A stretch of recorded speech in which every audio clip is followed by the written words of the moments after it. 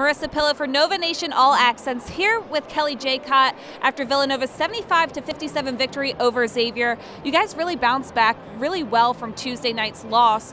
What was your mindset heading into tonight's game? Thank you. Uh, our coaches talked about how badly we needed this win, and we all agreed. Um, we came into the game pushing the ball in transition, playing our hardest on offense and defense. I think we did a good job doing that. And the team's always playing its best when you guys are shooting really well from distance 38.5% from behind the arc.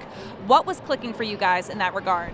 I think our passing, uh, like I said, we pushed it in transition, we found the open pass, and I think we took our time and shot with the ball with like relaxation.